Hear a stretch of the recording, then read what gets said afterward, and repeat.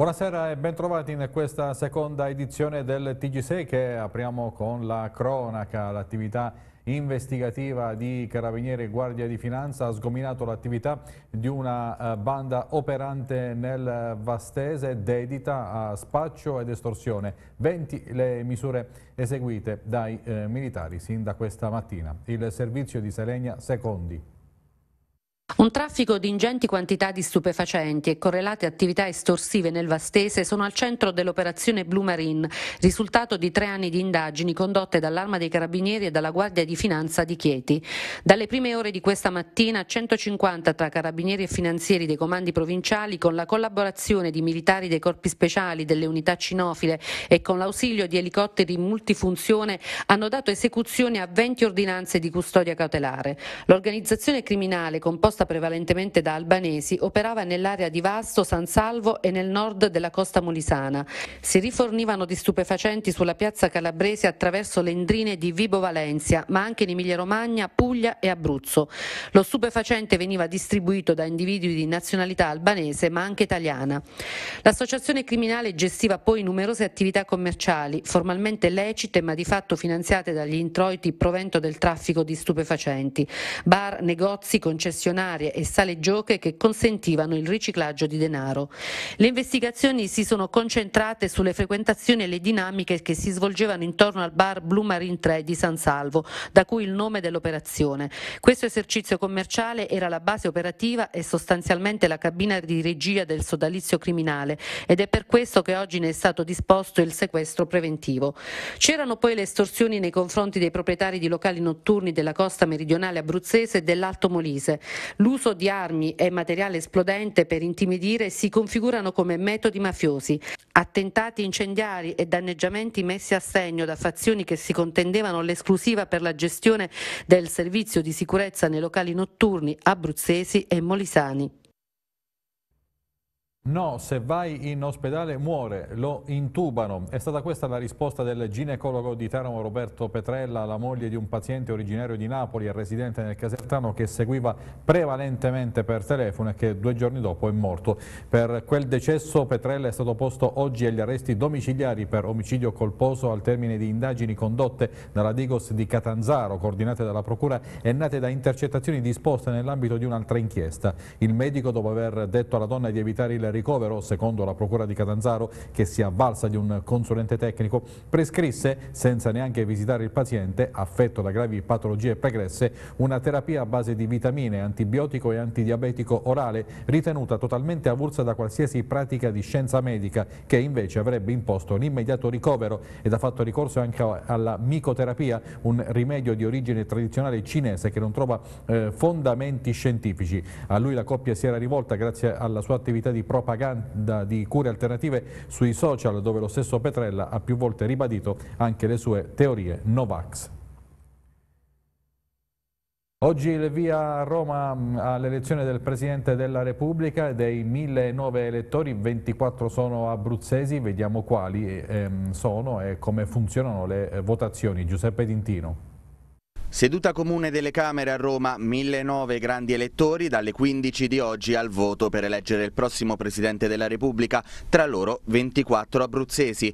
A sceglierlo sono i parlamentari elettivi, i senatori a vita e tre delegati per ogni regione, fatta eccezione per la Valle d'Aosta che ha un solo delegato. Per eleggere il capo dello Stato è inizialmente necessaria la maggioranza qualificata, ovvero almeno due terzi degli elettori. Dalla quarta votazione in poi invece sarà sufficiente la maggioranza assoluta assoluta. 24 in totale, come detto, gli elettori abruzzesi. I tre delegati della nostra regione sono il governatore Marco Marsiglio di Fratelli d'Italia, la capogruppo del Movimento 5 Stelle Sara Marcozzi e il forzista e presidente del Consiglio regionale Lorenzo Sospiri. Dei 21 parlamentari abruzzesi, 7 sono i senatori e 21 i deputati. Per il PD ci sono la deputata Stefania Pezzopane e il senatore Luciano D'Alfonso. Per il Movimento 5 Stelle i deputati Daniele Del Grosso, Gianluca Vacca, Daniele Daniela Torto, Valentina Corneli e Carmela Grippa e i senatori Gianluca Castaldi, Gabriella Di Girolamo e Primo Di Nicola. Un abruzzese anche tra le schiere di Italia Viva e il deputato Camillo D'Alessandro. Per la Lega invece ci sono i deputati Antonio Zennaro, Giuseppe Bellachioma e Luigi Deramo e il senatore Alberto Bagnai. Per Forza Italia i deputati Antonio Martino e Gianfranco Rotondi e il senatore Nazario Pagano, mentre il senatore Gaetano Quagliarello fa riferimento a Idea Cambiamo di Toti nel polo di Coraggio Italia insieme al deputato Fabio Berardini. Tra gli elettori, 112 parlamentari del gruppo misto saranno loro probabilmente ad essere l'ago della bilancia. L'unico abruzzese del gruppo misto è il deputato ex 5 Stelle Andrea Colletti.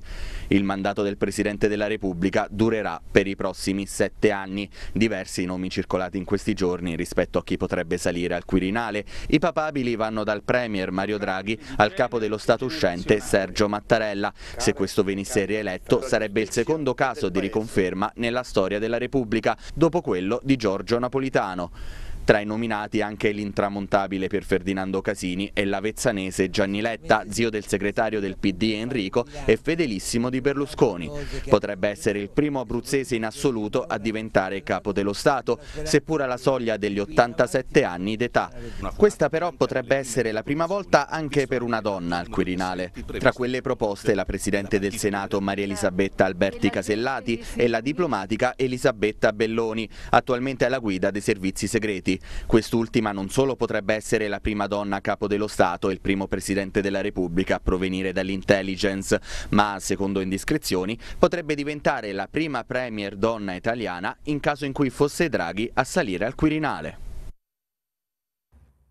Bollettino odierno del Covid, sono 1568 i nuovi eh, casi di coronavirus accertati nelle ultime 24 ore in Abruzzo, del totale 955 sono stati identificati attraverso test antigenico rapido. Il tasso di positività calcolato sulla somma tra tamponi molecolari 3.109 e tamponi antigenici 10.391 è pari all'11,61%. Si registrano 10 decessi recenti che fanno salire il bilancio delle vittime a 2.758 dei dei 10 decessi, 7 riguardano persone di età compresa tra 70 e 92 anni, 4 in provincia di Pescara, 2 in provincia di Chieti e una residente fuori regione. 3 eh, risalgono ai giorni scorsi ma sono stati comunicati solo oggi dalla ASL. In aumento i ricoveri, 419 quelli in area medica, più 7 rispetto a ieri, 37 in terapia intensiva, più 1 rispetto a ieri. Nel primo giorno di arancione, alla luce dell'aggiornamento odierno, in Abruzzo il tasso di occupazione dei posti letto è al 20% per le terapie intensive e del 32% per l'area non critica, a fronte di soglie limite rispettivamente del 20 e del 30%. Gli ultimi dati continuano a confermare la frenata della corsa del virus, anche se i numeri sono stabili su valori altissimi. Il totale dei contagi accertati in una settimana è pari a 25.230, il totale anche in termini percentuali è invariato rispetto ai sette giorni precedenti, segno di come la crescita si sia arrestata. A livello territoriale i numeri più alti sono ancora quelli quelli del Teramano, unico territorio che presenta ancora una incidenza eh, settimanale dei contagi superiore a 2000, per la precisione 2160, seguono il Pescarese con 1956, il Chietino con 1845 e infine la provincia dell'Aquila con una incidenza pari a 1647 e si lavora per rendere operativo già a partire da mercoledì il secondo hub vaccinale della città di Pescara, anche se non è escluso che eh, si possa far slittare l'apertura il giorno successivo. Questo quanto annunciato dalla ASL di Pescara che punta ad un'accelerazione per la vaccinazione della fascia 5-11 anni. Stefano Recanati. Proseguono i lavori per garantire l'apertura entro mercoledì o al massimo giovedì del nuovo centro vaccinale di Pescara. Quello all'interno del palazzo Fuxas in via Volta sarà il secondo della città e andrà in qualche modo a rimpiazzare quello del Palafiere, chiuso ormai da qualche mese. Gli spazi acquisiti sono quelli al piano terra per un totale di circa 1000 metri quadrati. Cinque le linee vaccinali inizialmente aperte e per questo sono stati già reclutati una decina di medici, anche se all'appello ne mancherebbero ancora tra infermieri infermieri e amministrativi. L'obiettivo della ASL, che proprio questa mattina ha cominciato l'allestimento, è quello di somministrare durante una singola giornata circa 500 dosi di vaccino, che sommate alle 900 che già vengono effettuate nell'altro hub della città, quello di Porta Nuova, fanno 1500 somministrazioni solo nella città adriatica, nella speranza di dare la spinta decisiva alla battaglia contro il Covid. L'altro obiettivo dell'azienda sanitaria locale è quello di riuscire a vaccinare quanti più bambini possibili.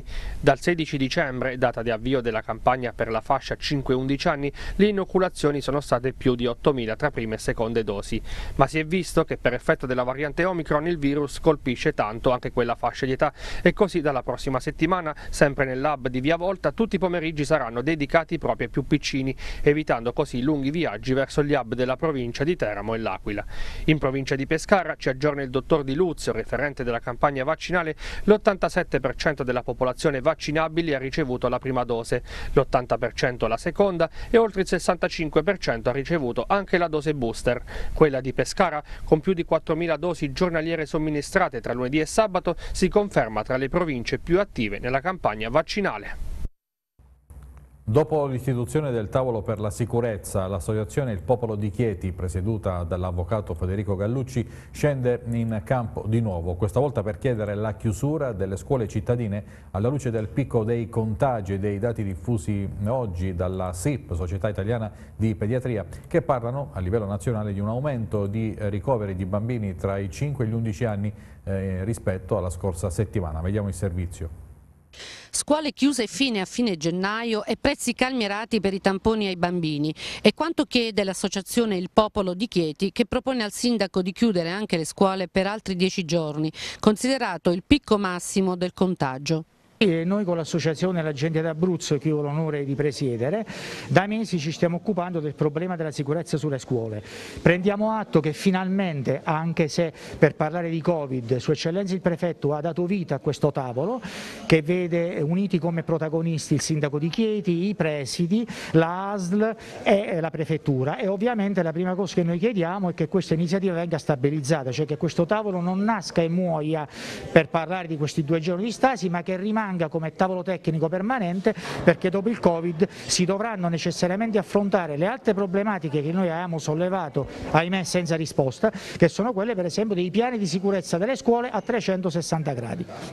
Ancora, noi abbiamo preso atto di questa decisione da parte del sindaco di Chieti, che ringraziamo per la sua sensibilità, caldeggiata dalla sua eccellenza il prefetto, di chiudere le scuole per questo fine settimana. Però in realtà a noi appare una decisione un po' timida rispetto a quella che è l'emergenza pandemica in questo momento. In tutta Italia siamo al plateau, siamo al picco dei contagi, le scuole ahimè sappiamo che sono un fortissimo veicolo di contagi, sappiamo tutti perché oramai ormai è un dogma acclarato che i tamponi antigenici, quindi lo screening rapido, è soltanto parzialmente attendibile, Crisanti lo ha definito una roulette russa, mentre invece quello molecolare sappiamo che è quello più sicuro, però il molecolare è improponibile soprattutto per i bimbi per gli alti costi. Sappiamo che i laboratori di Chieti sono ingolfati. E allora noi torniamo a chiedere un periodo maggiore di stasi e vorremmo che Sua Eccellenza il Prefetto, come rappresentante territoriale del governo, dia questo input, cioè quello di mantenere le scuole chiuse almeno sino a fine gennaio, per consentire ai presidi di riorganizzarsi ancora meglio, ai due laboratori di decongestionarsi al meglio e soprattutto per consentire a molti bimbi purtroppo positivi di negativizzarsi e di tornare a scuola in sicurezza. Le associazioni ambientaliste tornano sulla questione della riserva d'Annunziana dopo il recente abbattimento di tre nuovi alberi nella zona del cantiere di Via Pantini, chiedendo l'istituzione immediata della direzione scientifica della riserva. Vediamo.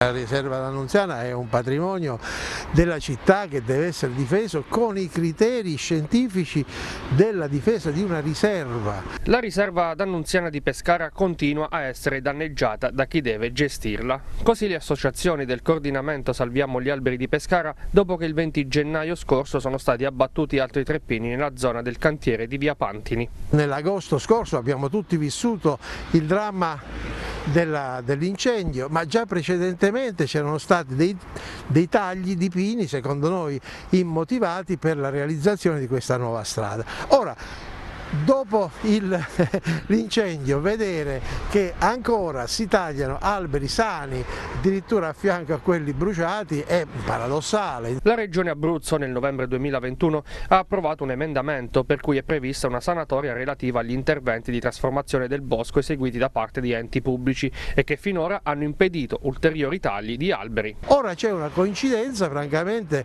sospetta fra l'inizio di una nuova campagna di tagli e questa attività legislativa diciamo, finalizzata a consentire quello che non era consentito. C'è fiducia per il futuro, dicono dall'associazione, ma tra le priorità ora ci deve essere l'istituzione di una direzione scientifica della riserva. È chiaro che si tratta di un progetto che va rivisto anche alla luce della salvaguardia della, della pineta che deve essere messa tra le priorità di questa amministrazione.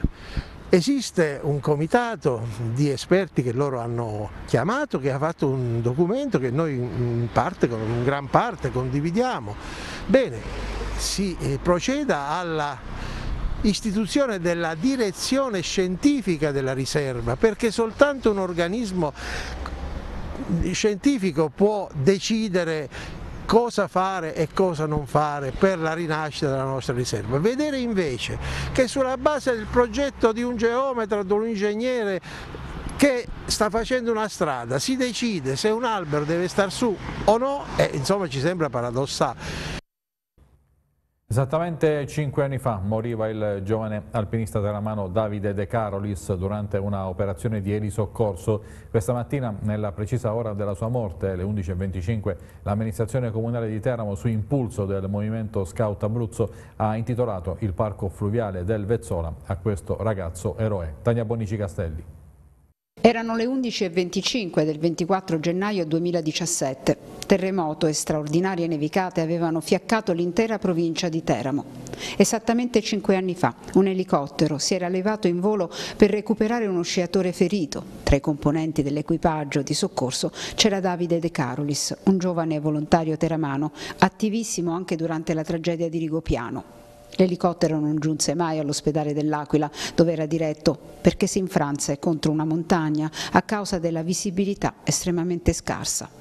Oggi, nella stessa precisa ora della morte di questo ragazzo eroe, l'amministrazione comunale di Teramo, su impulso del movimento Scout Abruzzo, ha ufficialmente voluto inaugurare il parco fluviale della città a Davide. Una cerimonia toccante alla presenza di amici, genitori, istituzioni, studenti e colleghi del soccorso alpino.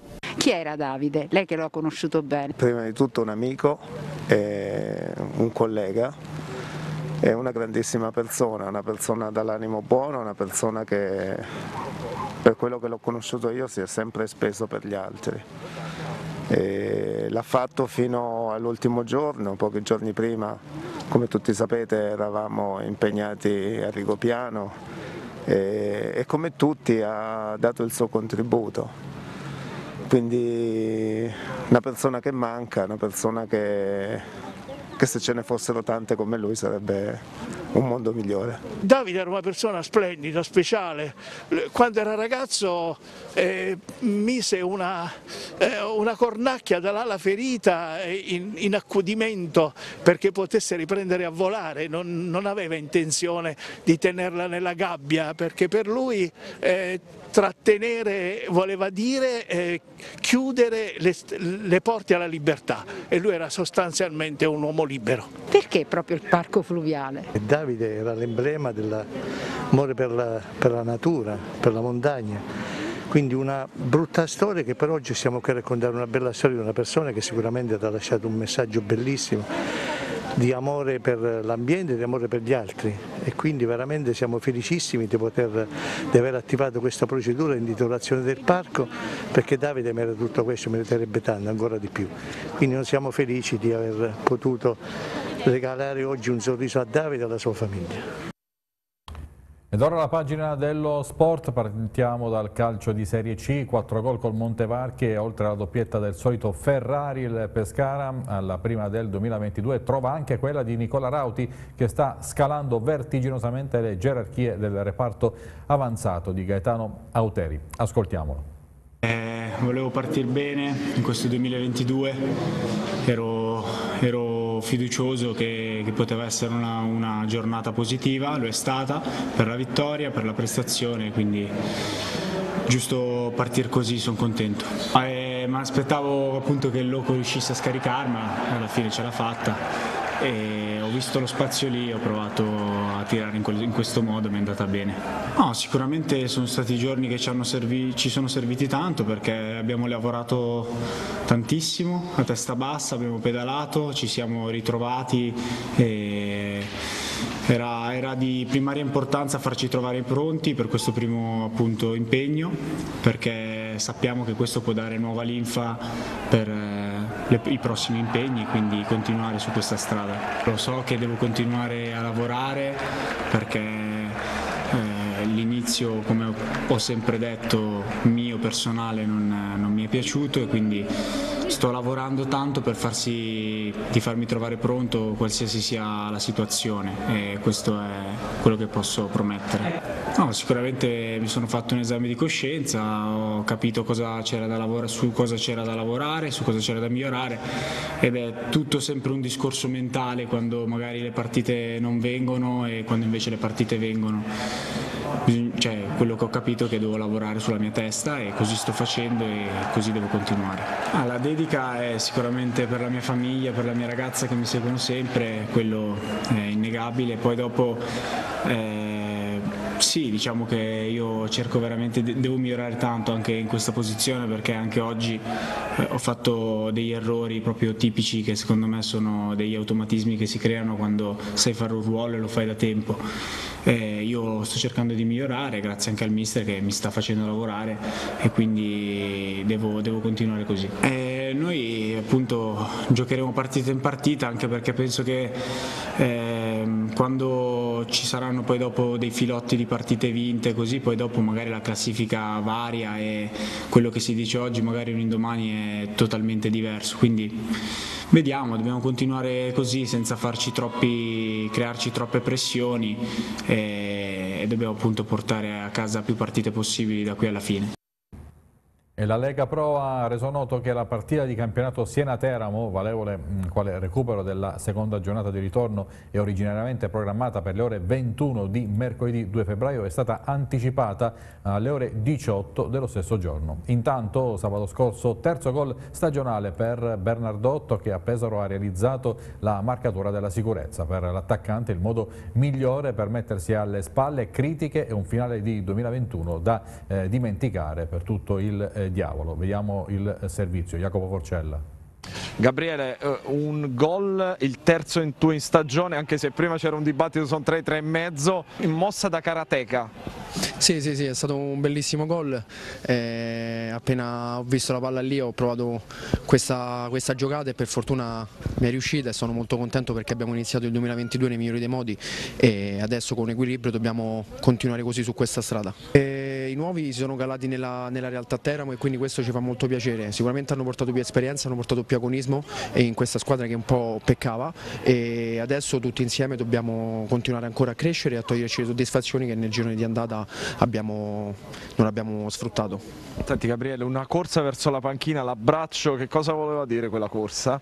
il gol per me vale, vale, sempre tanto perché comunque dopo quello che ho passato, soprattutto quest'anno quando vado in rete sono molto contento perché mi vengono in mente tantissime cose, tantissime dire, critiche che ci sono e fanno, e fanno parte del, di questo sport, quindi eh, è stata una gioia immensa, la volevo condividere con tutta la squadra perché sappiamo solo noi quello che abbiamo passato. È una, è una situazione molto più tranquilla perché i presidenti ci hanno, ci hanno, garantito tante cose e questo sicuramente quando scendiamo in campo fa, fa, fa molta differenza e oggi si è visto che comunque questo, questa pausa che c'è stata ci ha fatto del bene e dobbiamo, come ho detto prima, continuare così e dare, dare continuità a, questi, a, questo risultato di oggi. Eh, il Teramo può giocare anche con due punte e Bernardotto c'è, nel tridente Bernardotto c'è con un tridente un po' strano con eh, Mungo e Malotti, Bernardotto c'è alla fine Bernardotto c'è sempre. Sì, sì, io cerco di esserci sempre perché sono, sono così come, come, ragazzo, nel senso anche quando so, sto un po' acciaccato, non sto al 100%, cerco di, di, esserci sempre perché mi metto sempre a disposizione, mi fa piacere e spero di, di dare continuità a quello, a quello che è stato oggi. E in Serie D il colpo lo ha firmato il Chieti che ha centrato la prima vittoria interna stagionale battendo la capolista recanatese. Vediamo. Mister della recanatese Pagliari, nostro ex nero verde, nostro ex attaccante. Prima del fischio d'inizio, in occasione delle manifestazioni per il centenario della società teatina, premiati il tecnico della recanatese Giovanni Pagliari, ex attaccante neroverde per 5 stagioni dall'89 al 94, per lui 130 presenze, 17 reti, una promozione in C1 ed il compianto Giuseppe Farina che ha vestito la casacca dei teatini negli anni 40. Ancora assenti Aquilanti, Lucarelli ritrova però Bassini che va subito ad occupare il centro della difesa, per il resto 3-5-2 confermato con la coppia offensiva formata da Orlando e Fabrizi. La capolista recanatese vuole riprendere il nuovo anno così come va lasciato il 2021, allora Pagliari si affida al 4-2-3-1 con l'ultimo arrivato Meloni già in campo, in luogo di somma. In avanti l'unico riferimento offensivo è Defendi. Ritmi blandi tra le due squadre nei primi minuti ma è la formazione di casa a provarci al sesto. Calcio di punizione interessante di Mele che calcia sulla barriera, poi il pallone acquista una traiettoria beffarda che per poco non beffa Orbietis. La pausa di un mese si fa sentire ma con il passare dei minuti i leopardiani crescono trascinati dal solito sbaffo. Il numero 10 conquista la sfera a centrocampo e dopo aver vinto un paio di rimpalli prova la conclusione dei 30 metri con la sfera che sbatte sull'incrocio dei pali con Forti immobile. Si dispera baffo a due passi dall'Eurogol. Il Chieti prova a sorprendere la capolista con le ripartenze, così come avviene al 27 quando Pietrantonio sfugge a Meloni e va giù in area di rigore ma è giusta la decisione di Fantozzi di non concedere il penalty. Gli ospiti provano a scardinare la difesa con delle sventagliate da lontano a liberare gli esterni come avviene al quarantesimo con Quacquarelli che lascia sul posto Chiacchia, attenti però i suoi compagni in aria a liberare la sfera. Alla fine dei primi 45 minuti è 0-0, Chieti molto intraprendente ad inizio ripresa che passa un po' a sorpresa anche a condurre la contesa, calcio di punizione perfetto, anche troppo di Pietrantonio che incoccia il palo sulla sfera si avventa Luca Fabrizi che di piatto deposita in fondo al sacco, poi la corsa sotto la curva Volpi per festeggiare l'ottavo centro in stagione.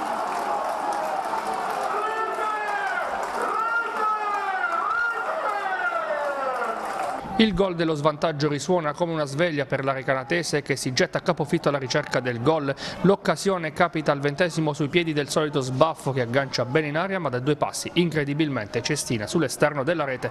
Recanatese a trazione offensiva quando mister Pagliari manda in campo anche Ferretti passando al 4-2-4. Nel Chieti invece c'è l'esordio di Elwasni a fargli spazio tra gli applausi l'autore del gol Fabrizi. La Recanatese spinge ma non riesce a pungere con il Chieti sempre ordinato in fase difensiva e che dopo aver sofferto poco nulla nei minuti di recupero può festeggiare la prima vittoria stagionale tra le mura amiche che stava diventando sempre di più tabù della squadra di Lucarelli. Con questa vittoria il Chieti esce dalla zona play-out e domenica prossima contro il Nereto, occasione d'oro per cambiare il volto della stagione. La Recanatese incappa invece nella seconda sconfitta stagionale che però non scalfisce l'ottimo cammino fin qui avuto.